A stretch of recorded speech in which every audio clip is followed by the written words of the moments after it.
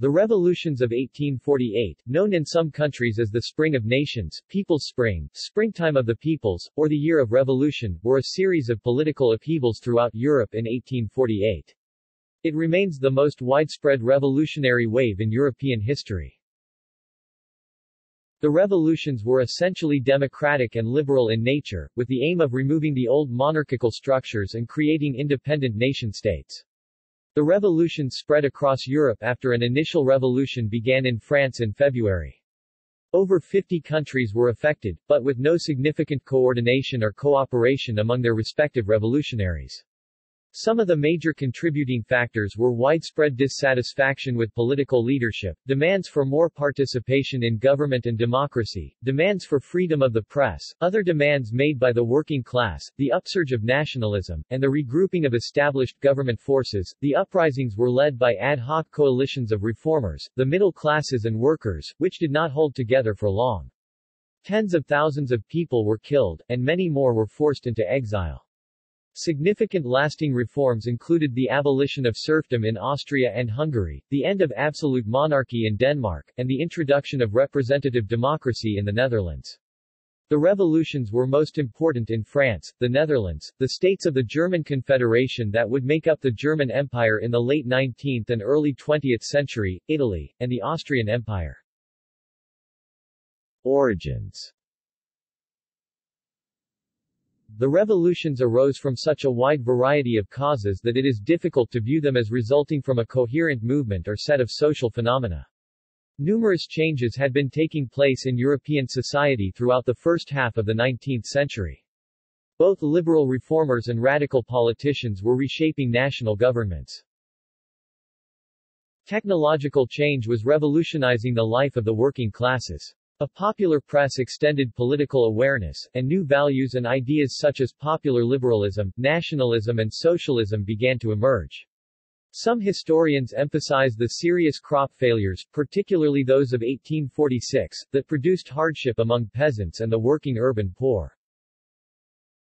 Large swaths of the nobility were discontented with royal absolutism or near-absolutism. In 1846, there had been an uprising of Polish nobility in Austrian Galicia, which was only countered when peasants, in turn, rose up against the nobles. Additionally, an uprising by democratic forces against Prussia, planned but not actually carried out, occurred in Greater Poland. Next, the middle classes began to agitate.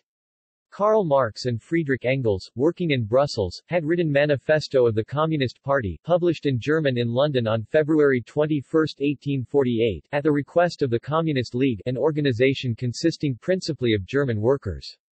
Following the March insurrection in Berlin, they began agitating in Germany. They issued their demands of the Communist Party in Germany from Paris in March, the pamphlet urged unification of Germany, universal suffrage, abolition of feudal duties, and similar middle-class goals. The middle and working classes thus shared a desire for reform, and agreed on many of the specific aims. Their participations in the revolutions, however, differed. While much of the impetus came from the middle classes, much of the cannon fodder came from the lower classes. The revolts first erupted in the cities. Urban workers The population in French rural areas had risen rapidly, causing many peasants to seek a living in the cities. Many in the bourgeoisie feared and distanced themselves from the working poor. Many unskilled laborers toiled from 12 to 15 hours per day when they had work, living in squalid, disease-ridden slums. Traditional artisans felt the pressure of industrialization, having lost their guilds. Revolutionaries such as Karl Marx built up a following, the liberalization of trade laws and the growth of factories had increased the gulf among master tradesmen, and journeymen and apprentices, whose numbers increased disproportionately by 93% from 1815 to 1848 in Germany. Significant proletarian unrest had occurred in Lyon in 1831 and 1834, and Prague in 1844. Jonathan Sperber has suggested that in the period after 1825, poor urban workers particularly day laborers, factory workers and artisans saw their purchasing power decline relatively steeply. Urban meat consumption in Belgium, France and Germany stagnated or declined after 1830, despite growing populations. The economic crisis of 1847 increased urban unemployment, 10,000 Viennese factory workers were made redundant and 128 Hamburg firms went bankrupt over the course of 1847. With the exception of the Netherlands, there was a strong correlation among the countries that were most deeply affected by the industrial shock of 1847 and those that underwent a revolution in 1848. The situation in the German states was similar. Parts of Prussia were beginning to industrialize. During the decade of the 1840s, mechanized production in the textile industry brought about inexpensive clothing that undercut the handmade products of German tailors. Reforms ameliorated the most unpopular features of rural feudalism, but industrial workers remained dissatisfied with these and pressed for greater change. Urban workers had no choice but to spend half of their income on food, which consisted mostly of bread and potatoes. As a result of harvest failures, food prices soared and the demand for manufactured goods decreased, causing an increase in unemployment. During the revolution, to address the problem of unemployment, workshops were organized for men interested in construction work. Officials also set up workshops for women when they felt they were excluded. Artisans and unemployed workers destroyed industrial machines when they threatened to give employers more power over them. Rural areas Rural population growth had led to food shortages, land pressure, and migration, both within and from Europe, especially to the Americas. Peasant discontent in the 1840s grew in intensity. Peasant occupations of lost communal land increased in many areas. Those convicted of wood theft in the Rhenish Palatinate increased from 100,000 in 1829 to 30 to 185,000 in 1846 to 47. In the years 1845 and 1846, a potato blight caused a subsistence crisis in northern Europe, and encouraged the raiding of manorial potato stocks in Silesia in 1847. The effects of the blight were most severely manifested in the Great Irish Famine, but also caused famine-like conditions in the Scottish Highlands and throughout continental Europe. Harvests of rye in the Rhineland were 20% of previous levels, while the Czech potato harvest was reduced by a half. These reduced harvests were accompanied by a steep rise in prices, the cost of wheat more than doubled in France and Habsburg Italy. There were 400 French food riots during 1846 to 1847, while German socio-economic protests increased from 28 during 1830 to 39, to 103 during 1840 to 1847. Central to long-term peasant grievances were the loss of communal lands, forest restrictions such as the French Forest Code of 1827, and remaining feudal structures, notably the robot labor obligations that existed among the serfs and oppressed peasantry of the Habsburg lands. Aristocratic wealth and corresponding power was synonymous with the ownership of farm lands and effective control over the peasants.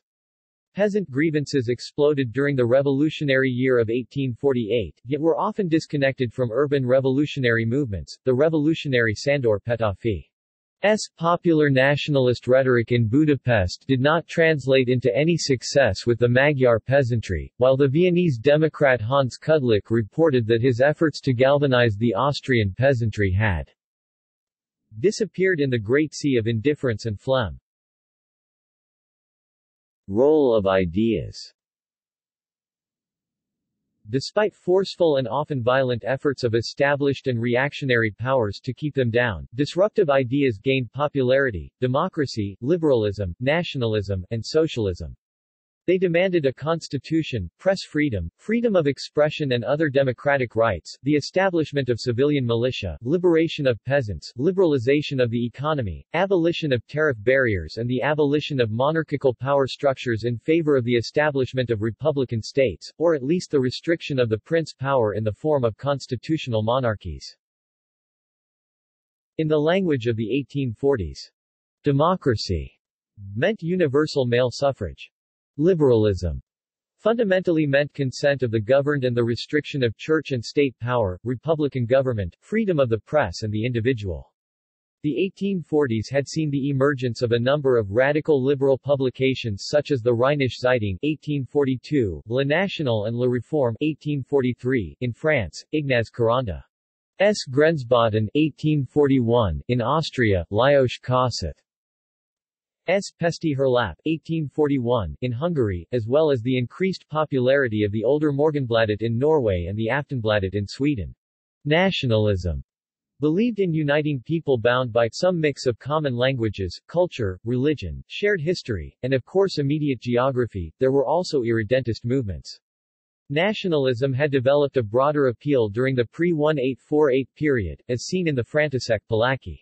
S. 1836 History of the Czech Nation, which emphasized a national lineage of conflict with the Germans, or the popular patriotic Liederkranz song circles that were held across Germany. Patriotic and belligerent songs about Schleswig had dominated the Würzburg National Song Festival in 1845.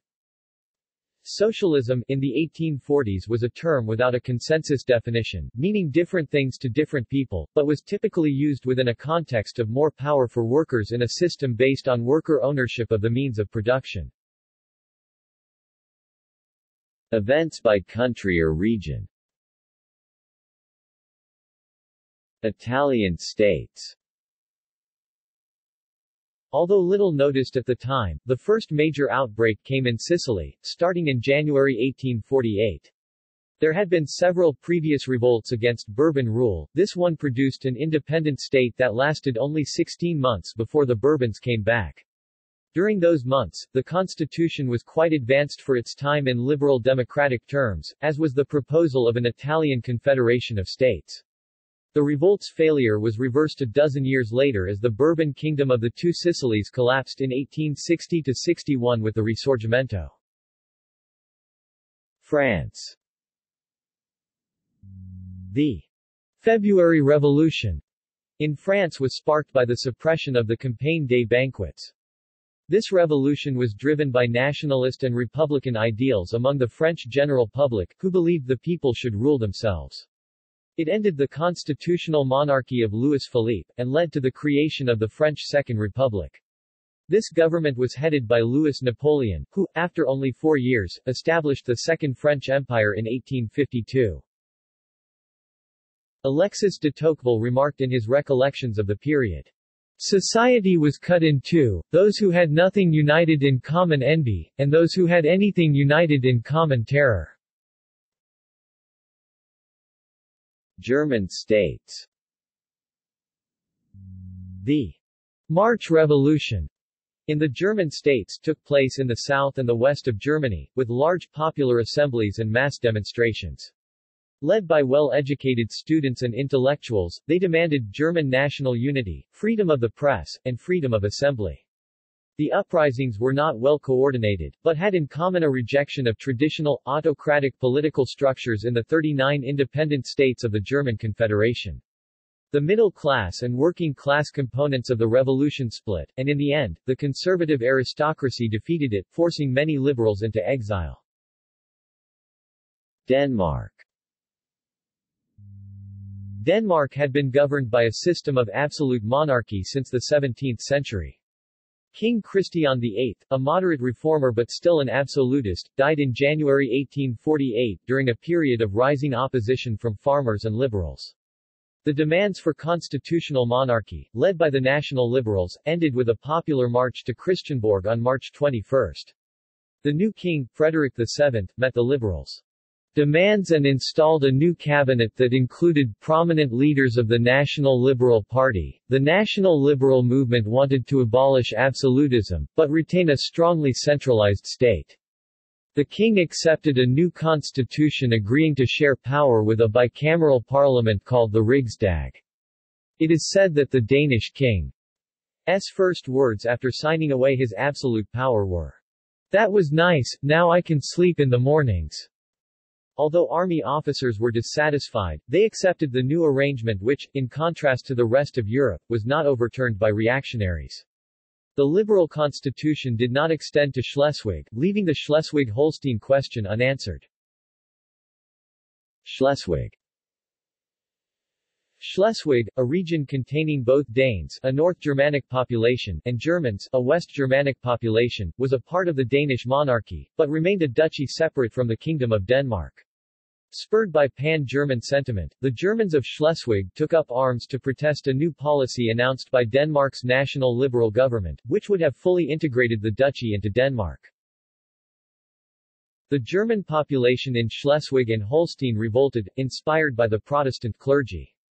The German states sent in an army, but Danish victories in 1849 led to the Treaty of Berlin 1850 and the London Protocol 1852. They reaffirmed the sovereignty of the King of Denmark, while prohibiting union with Denmark. The violation of the latter provision led to renewed warfare in 1863 and the Prussian victory in 1864. Habsburg Empire from March 1848 through July 1849, the Habsburg Austrian Empire was threatened by revolutionary movements, which often had a nationalist character. The empire, ruled from Vienna, included Austrians, Hungarians, Slovenes, Poles, Czechs, Croats, Slovaks, Ukrainians, Ruthenians, Romanians, Serbs and Italians, all of whom attempted in the course of the revolution to achieve either autonomy, independence, or even hegemony over other nationalities. The nationalist picture was further complicated by the simultaneous events in the German states, which moved toward greater German national unity. Hungary the Hungarian Revolution of 1848 was the longest in Europe, crushed in August 1849 by Austrian and Russian armies. Nevertheless, it had a major impact in freeing the serfs. It started on 15 March 1848, when Hungarian patriots organized mass demonstrations in Pest and Buda today Budapest, which forced the imperial governor to accept their 12 points of demands, which included the demand for freedom of press, an independent Hungarian ministry residing in Budapest and responsible to a popularly elected parliament, the formation of a national guard, complete civil and religious equality, trial by jury, a national bank, a Hungarian army, the withdrawal of foreign troops from Hungary Hungary Austrian troops, the freeing of political prisoners, and the union with Transylvania. On that morning, the demands were read aloud along with poetry by Sandor Petőfi with the simple lines of We swear by the God of the Hungarians. We swear, we shall be slaves no more. Lajos Kossuth and some other liberal nobility that made up the Diet appealed to the Habsburg court with demands for representative government and civil liberties. These events resulted in Clemens von Metternich, the Austrian prince and foreign minister, resigning. The demands of the Diet were agreed upon on March 18 by Emperor Ferdinand. Even though Hungary would remain part of the empire through personal union with the emperor, a constitutional government would be founded.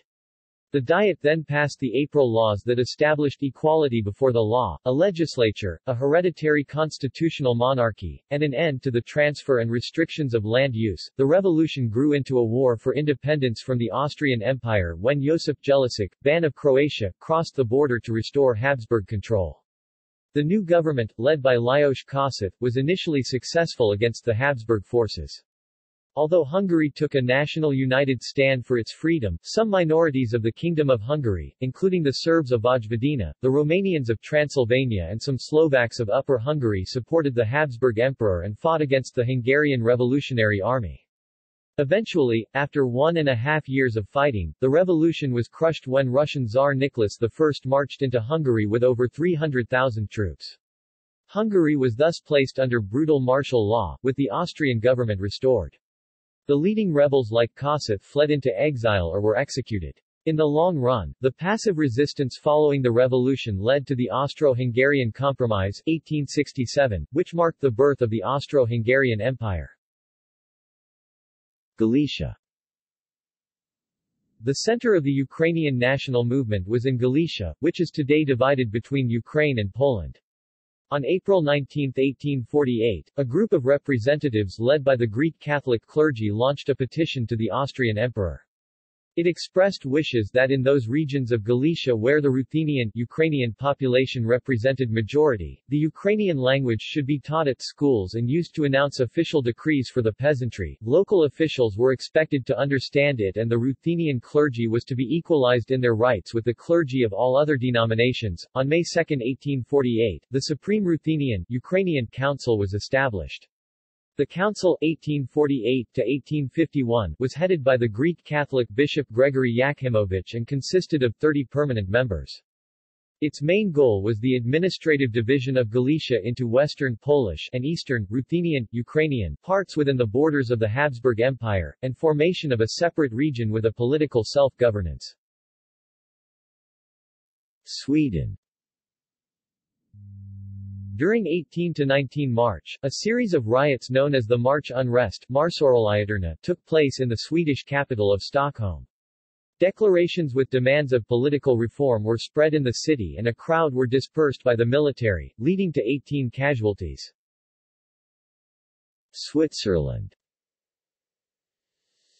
Switzerland, already an alliance of republics, also saw an internal struggle.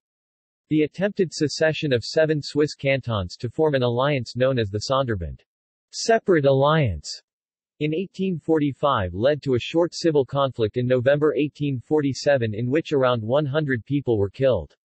The Sonderbund was decisively defeated, and a new constitution of 1848 ended the almost complete independence of the cantons, transforming Switzerland into a federal state. Greater Poland Polish people mounted a military insurrection against the Prussians in the Grand Duchy of Posen, or the Greater Poland region, a part of Prussia since its annexation in 1815. Danubian Principalities A Romanian liberal and romantic nationalist uprising began in June in the Principality of Wallachia. Closely connected with the 1848 unsuccessful revolt in Moldavia, it sought to overturn the administration imposed by Imperial Russian authorities under the Regulamentul Organic regime, and, through many of its leaders, demanded the abolition of boyar privilege. Led by a group of young intellectuals and officers in the Wallachian military forces, the movement succeeded in toppling the ruling Prince Gheorghe Bibescu, whom it replaced with a provisional government and a regency, and in passing a series of major liberal reforms, first announced in the proclamation of Islaz. Belgium Belgium did not see major unrest in 1848, although numerous small-scale confrontations did occur. A number of local riots broke out, concentrated in the Sillon industrial industrial region of the provinces of Liege and Hainaut. The most serious threat of revolutionary contagion was posed by Belgian émigré groups from France.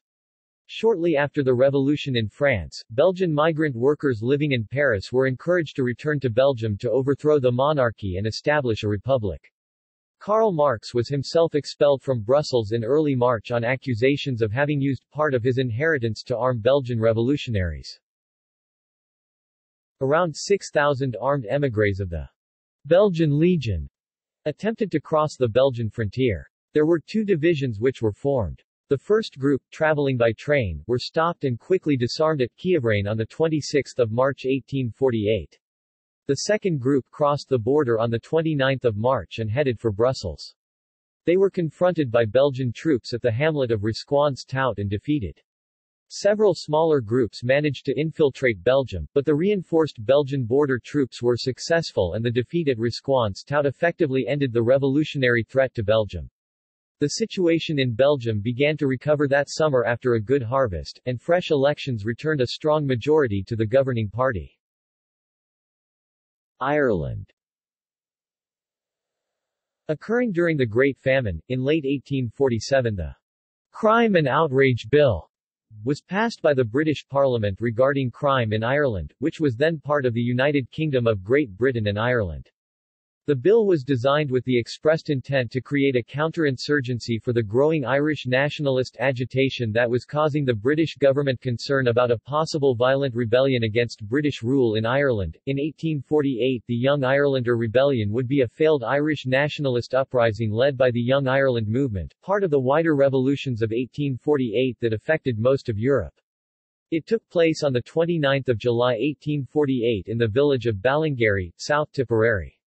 The Young Irelanders and their supporters, chased an armed Royal Irish Constabulary unit of nearly 50 men who would retreat and then garrison themselves in a house, holding those inside as hostages. A several-hour gunfight followed, but the rebels fled after a large group of constabulary reinforcements arrived. It is sometimes called the Famine Rebellion, since it took place during the Great Famine in Ireland, or the Battle of Ballingarry. As with the earlier United Irishmen, S. mass rebellion in 1798, who sought to emulate the American Revolution, and Robert Emmet. S. rising in 1803, the Young Irelanders were inspired by republicanism in the United States and, to a lesser extent, Europe. Other European states Great Britain, Belgium, Netherlands, Portugal, Spain, the Russian Empire, including Poland and Finland, and the Ottoman Empire did not encounter major national revolutions over this period. Sweden and Norway were also little affected. Serbia, though formally unaffected by the revolt as it was a part of the Ottoman state, actively supported Serbian revolutionaries in the Habsburg Empire. Russia's relative stability was attributed to the revolutionary groups' inability to communicate with each other.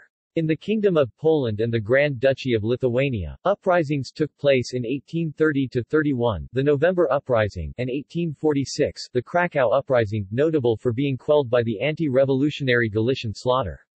A final revolt took place in 1863-65, the January Uprising, but none occurred in 1848. Switzerland and Portugal were also unaffected in 1848, though both had gone through civil wars in the preceding years, the Sonderbund War in Switzerland and the Liberal Wars in Portugal. The introduction of the Swiss federal constitution in 1848 was a revolution of sorts, laying the foundation of Swiss society as it is today. In the Netherlands, no major unrests appeared because the king, William II, decided to alter the Dutch constitution to reform elections and effectively reduce the power of the monarchy. While no major political upheavals occurred in the Ottoman Empire as such, political unrest did occur in some of its vassal states.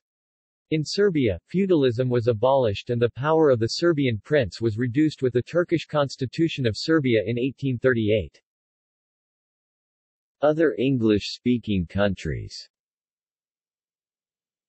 in Britain, the middle classes had been pacified by general enfranchisement in the Reform Act 1832. The consequent agitations, violence, and petitions of the Chartist movement came to a head with their peaceful petition to Parliament of 1848.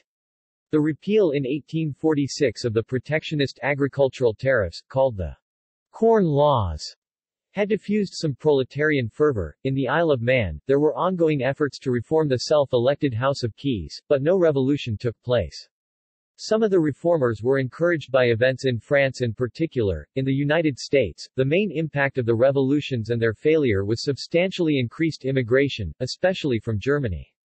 This, in turn, fueled the nativist Know Nothing movement in the years preceding the American Civil War. The Know Nothings were opposed to Catholic immigration, especially immigration of German and Irish Catholics, and held Pope Pius IX responsible for the 1848 revolution's failure. 1848 in Canada saw the establishment of responsible government in Nova Scotia and the Canadas, the first such governments in the British Empire outside of Great Britain itself. John Ralston Saul has argued that this development is tied to the revolutions in Europe, but described the Canadian approach to the revolutionary year of 1848 as talking their way out of the empire's control system and into a new democratic model. A stable democratic system which has lasted to the present day. Tory and Orange Order in Canada opposition to responsible government came to a head in riots triggered by the Rebellion Losses Bill in 1849. They succeeded in the burning of the Parliament buildings in Montreal, but, unlike their counter-revolutionary counterparts in Europe, they were ultimately unsuccessful. South America in Spanish Latin America, the Revolution of 1848 appeared in New Granada, where Colombian students, liberals, and intellectuals demanded the election of General José Hilario López. He took power in 1849 and launched major reforms, abolishing slavery and the death penalty, and providing freedom of the press and of religion. The resulting turmoil in Colombia lasted four decades, from 1851 to 1885. The country was ravaged by four general civil wars and 50 local revolutions. In Chile, the 1848 revolutions inspired the 1851 Chilean Revolution. In Brazil, the Praieira Revolt, a movement in Pernambuco, lasted from November 1848 to 1852. Unresolved conflicts left over from the period of the Regency and local resistance to the consolidation of the Brazilian Empire that had been proclaimed in 1822 helped to plant the seeds of the revolution. Legacy We have been beaten and humiliated. scattered, imprisoned, disarmed and gagged. The fate of European democracy has slipped from our hands. Democrats looked to 1848 as a democratic revolution, which in the long run ensured liberty, equality, and fraternity. For nationalists, 1848 was the springtime of hope, when newly emerging nationalities rejected the old multinational empires. But the end results were not as comprehensive as many had hoped. Many governments engaged in a partial reversal of the revolutionary reforms of 1848 to 1849, as well as heightened repression and censorship. The Hanoverian nobility successfully appealed to the Confederal Diet in 1851 over the loss of their noble privileges, while the Prussian Junkers recovered their manorial police powers from 1852 to 1855. In the Austrian Empire, the Sylvester Patents 1851 discarded Franz Stadion. S. constitution and the Statute of Basic Rights, while the number of arrests in Habsburg territories increased from 70,000 in 1850 to 1 million by 1854. Nicholas I's rule in Russia after 1848 was particularly repressive, marked by an expansion of the secret police the Tretiye Otdelenie, and stricter censorship. There were more Russians working for censorship organs than actual books published in the period immediately after 1848. In France, the works of Ledru Rollin, Hugo, Baudelaire and Proudhon were confiscated. In the post-revolutionary decade after 1848, little had visibly changed, and many historians considered the revolutions a failure, given the seeming lack of permanent structural changes. More recently, Christopher Clark has characterized the period that followed 1848 as one dominated by a revolution in government. Karl Marx expressed disappointment at the bourgeois character of the revolutions. The Prussian Prime Minister Otto von Manteuffel declared that the state could no longer be run like the landed estate of a nobleman. In Prussia, August von Bethmann Hollweg's Preußisches Wochenblatt newspaper, founded 1851, acted as a popular outlet for modernizing Prussian conservative statesmen and journalists against the reactionary Kreuzzeitung faction. The revolutions of 1848 were followed by new centrist coalitions dominated by liberals nervous of the threat of working-class socialism, as seen in the Piedmontese Connubio under Cavour. Governments after 1848 were forced into managing the public sphere and popular sphere with more effectiveness, resulting in the increased prominence of the Prussian Zentralstelle für Pressangelegenheiten Central Press Agency, established 1850, the Austrian Zensor und Polizeihofstelle, and the French Direction Générale de la Librairie 1856. Nevertheless, there were a few immediate successes for some revolutionary movements, notably in the Habsburg lands. Austria and Prussia eliminated feudalism by 1850, improving the lot of the peasants. European middle classes made political and economic gains over the next 20 years. France retained universal male suffrage. Russia would later free the serfs on February 19, 1861. The Habsburgs finally had to give the Hungarians more self-determination in the Ausgleich of 1867. The revolutions inspired lasting reform in Denmark, as well as the Netherlands. Reinhard Rurup has described the 1848 revolutions as a turning point in the development of modern anti-Semitism through the development of conspiracies that presented Jews as representative both of the forces of social revolution apparently typified in Joseph Goldmark and Adolf Fischhof of Vienna and of international capital, as seen in the 1848 report from Eduard von Müller-Tellering, the Viennese correspondent of Marx's Neue Rheinische Zeitung, which declared, tyranny comes from money and the money belongs to the Jews. The Texas Hill Country was settled by German intellectuals fleeing the reactionary purges, German Texans. More widely, many disillusioned and persecuted revolutionaries, in particular, though not exclusively, those from Germany and the Austrian Empire, left their homelands for foreign exile in the New World or in the more liberal European nations. These emigrants were known as the Forty-Eighters. In popular culture Steven Brust and Emma Bull's 1997 epistolary novel Freedom and Necessity is set in England in the aftermath of the revolutions of 1848. Mike Duncan's Revolutions podcast series covered the revolutions of 1848 starting with episode 7.01.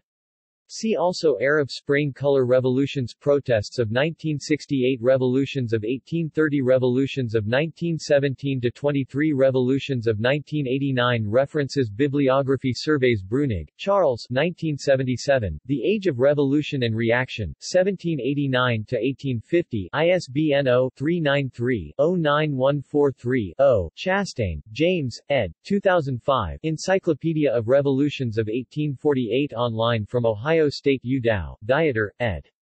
Europe in 1848, Revolution and Reform, Berghahn Books, 2000, Evans, R.J.W., and Hartmut Pogge von Strandmann, eds. The Revolutions in Europe, 1848-1849, From Reform to Reaction, 2000, 10 essays by scholars excerpt and text search Pouthas, Charles. The Revolutions of 1848, in J. P. T. Bury, ed. New Cambridge Modern History, The Zenith of European Power 1830-70, 1960, pp. 389-415 Online excerpts Langer, William. The Revolutions of 1848, Harper, 1971, Standard Overview Rapport, Mike 2009, 1848, Year of Revolution ISBN 978-0-465-01436-1 Online Review, A Standard Survey Robertson, Priscilla 1952, Revolutions of 1848, A Social History ISBN 0-691-00756-X. Despite the subtitle this is a traditional political narrative Sperber, Jonathan. The European Revolutions, 1848-1851, 1994 online edition Stearns, Peter N. The Revolutions of 1848, 1974, online edition Weyland, Kurt. The Diffusion of Revolution, 1848, in Europe and Latin America. International Organization Volume 63, Number 3, Summer 2009, pp. 391-423 in JSTOR. France Duveau, Georges, 1848, The Making of a Revolution, 1966. Fasel, George. The Wrong Revolution, French Republicanism in 1848. French Historical Studies Volume 8, No. 4, Autumn, 1974, pp. 654-77 in JSTOR. Loubère, Leo. The Emergence of the Extreme Left in Lower Languedoc, 1848-1851, Social and Economic Factors in Politics. American Historical Review, 1968, v. 73 No. 4, 1019-51 in JSTOR. Germany and Austria Deák, István. The Lawful Revolution, Louis Kossuth and the Hungarians, 1848-1849, 1979 Haas, Hans J. The 1848 Revolutions in German-Speaking Europe, 2001 Hewitson, Mark. The Old Forms Are Breaking Up. Our new Germany is rebuilding itself, constitutionalism, nationalism and the creation of a German polity during the revolutions of 1848-49. English Historical Review, October 2010, Volume 125 Issue 516, pp. 1173-1214 online Macartney, C.A. 1848 in the Habsburg Monarchy. European Studies Review, 1977, Volume 7 Issue 3, pp. 285-309 online O'Boyle Lenore. The Democratic Left in Germany, 1848. Journal of Modern History Volume 33, No. 4, Dec. 1961, pp. 374-83 in JSTOR Robertson, Priscilla. Revolutions of 1848, A Social History 1952, pp 105-85 on Germany, pp 187-307 on Austria Sked, Alan. The Survival of the Habsburg Empire, Radetzky, The Imperial Army and the Class War, 1848-1979 Vick, Brian. Defining Germany The 1848 Frankfurt Parliamentarians and National Identity, Harvard University Press, 2002. ISBN 978-0-674-00911-0. Italy Ginsborg, Paul. Peasants and Revolutionaries in Venice and the Veneto, 1848. Historical Journal, September 1974, Volume 17 Issue 3, pp. 503-50 in JSTOR Ginsborg, Paul. Daniele Manin and the Venetian Revolution of 1848-49, 1979 Robertson, Priscilla 1952. Revolutions of 1848, A Social History 1952, pp. 309-401 Other Feyzioğlu, Hamiyet Sezer et al. Revolutions of 1848 and the Ottoman Empire. Bulgarian Historical Review, 2009, Volume 37 Issue 3 quarters, pp. 196-205. Historiography Dénes, Ivan Zoltan. Reinterpreting a Founding Father, Kossuth Images and Their Contexts, 1848-2009. East Central Europe, April 2010, Volume 37 Issue 1, pp. 90-117 Hamerow, Theodore S. History and the German Revolution of 1848. American Historical Review Volume 60, Number 1, October 1954, pp. 27-44 in JSTOR. Jones, Peter 1981, The 1848 Revolutions, Seminar Studies in History ISBN 0-582-06106-7 Mattheisen, Donald J. History as Current Events, Recent Works on the German Revolution of 1848. American Historical Review, December 1983, Volume 88 Issue 5 pp. 1219-37 in JSTOR Rothfels, Hans. 1848 100 Years After. Journal of Modern History, December 1948, Volume 20 Issue 4, pp. 291-319 in JSTOR. External links